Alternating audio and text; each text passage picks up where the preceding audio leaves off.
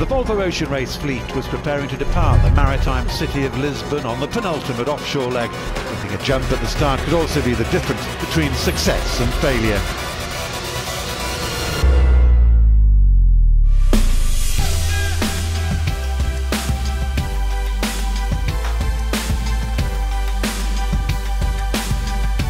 There with uh, Kenny Read at the helm monument to the discoveries, all part of the incredible history of this incredible place.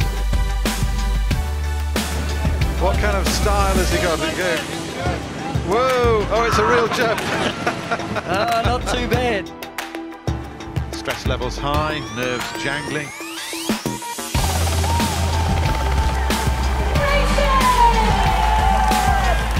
That's amazing. Uh, how, how the people here work together like a team. I think I think it's fantastic. It's, this will be an arm wrestle all the way round. it's my first time and it's been a great experience. With the bridge. Great shots, Martin. They just look fabulous. Great shots. Here's a little one for you. Yes, another thriller from the Volvo Ocean Race here at Lisbon in Portugal. I mean, it's a mouth-watering prospect.